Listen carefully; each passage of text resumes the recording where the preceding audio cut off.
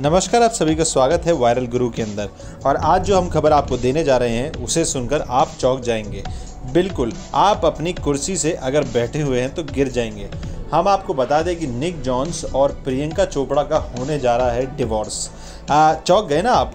हम भी ऐसे ही चौंक गए थे, जब कमाल आर खान ने एक ट्वीट किया और ये प्रिडिक्शन किया कि आने वाले 10 साल में निक जॉन्स जो है, वो प्रियंका चोपड़ा को डिवोर्स दे देंगे।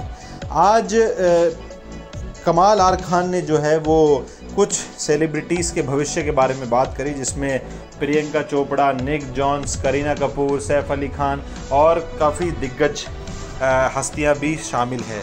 इन हस्तियों के ऊपर उनने लगातार ट्वीट करते हुए ये कहा है कि किसी का डिवोर्स कब हो जाएगा तो किसी के रिश्ते में क्या चल रहा है, किसी रिश्ते में क्या होने वाला है। इसी के सिलसिले में उनने ये कहा है कि निक्स जॉन जो है वो प्रियंका चोपड़ा को आने वाले 10 साल में डिवोर्स दे देंगे। जी हाँ आप सभी ने सही सुना। और जैसे ही कमाल आर खान ने ये ट्वीट्स करना शुरू किया, वैसे ही लोग हुक्का पानी लेकर उनके ऊपर चढ़ गए और उन्हें ऐसे ऐसे भद्दे कमेंट्स दिए कि शायद वो अब दोबारा किसी के भविष्य का प्रडिक्शन नहीं करेंगे।